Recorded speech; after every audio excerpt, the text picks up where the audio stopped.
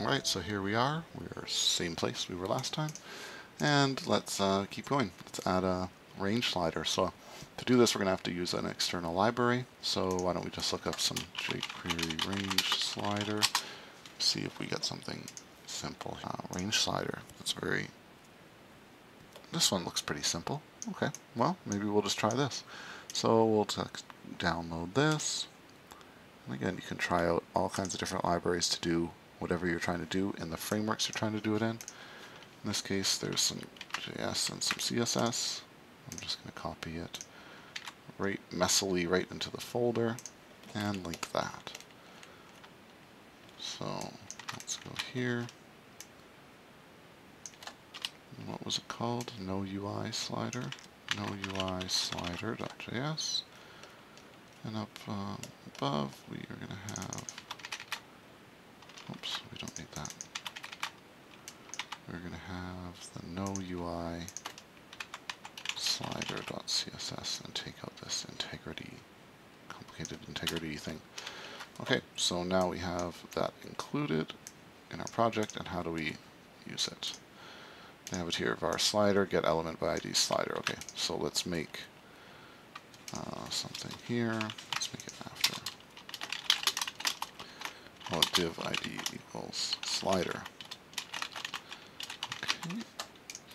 And we'll just load it in down here because we know ultimately when we create our events with this slider, we're going to have to interconnect it uh, with these variables that we're already messing around with. So, okay, let's uh, see that seems okay, at least for a test. See if it shows. Okay, so it's on and working. Well, that's a good first step. Maybe it needs a little bit of styling just to bring it down from being so far up. So slider have a significant margin since it's a pretty big UI element. Alright, there we go. So that's a decent start. Now, okay, so we got the slider working. That's nice. Seems to work okay. Okay, obviously we're going to want to like show values. We're going to want to do a few things. But first we have to make this appropriately. So right now its values are going from 20 to 80. Uh, its range, oh no, sorry, its range is 0 to 100 and its start is 20 to 80. We want that to fit our earthquakes when they get made. So actually we're just going to make this when we, uh, when we add these. So let's make our slider range. Okay. We go down along here. Okay, so now what we're going to have to do is dynamically make our range the highest and the lowest of all the earthquake GeoJSONs. So it's a little bit tricky. So maybe here we can make our our min is going to equal something and our var max is going to equal something. So now it's a little handy because we're actually going to be looping through everything anyway. So since we're in the point to layer, we're looping through every single one of them why don't we just also do this? We could we could loop through it differently, or we could do it another time, but why not?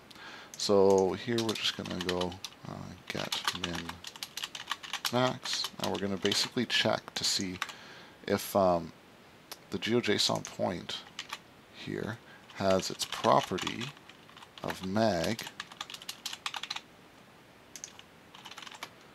if that mag is greater than the min, right? Or if it's less than the min, or if the min equals zero, so if it's the first time, then we'll set the min to the mag. And otherwise, if um, it's greater than the max, or the max is zero, although it doesn't actually matter, we don't really need to check that because it's always going to be more than zero. Oh, sorry, that's mag. I'm sorry, that should be mag, and this one should be max. So now we're going to have a min and max when that's all done. And we'll just add a little comment here to say add pop-up.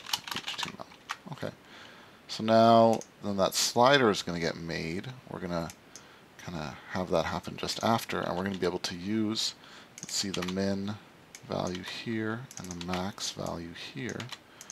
Okay, and then we can maybe start, you know, that the max can be that minus 1. We, we can make the min plus 1. Okay, let's see what happens. So something didn't come through properly. So what happened? GeoJSON is not defined. We have a little problem going on here. Let's see if we can at least console log out the min and the max. Looks like they're not even coming through. So we're having a problem. Oh, um, this is my error. Sorry, I had a thing breaking there. Um, it took me a little while to find that there was an extra GeoJSON thing, so if you had that breaking, that was the problem. There's our slider. We can't actually tell if anything changed on it.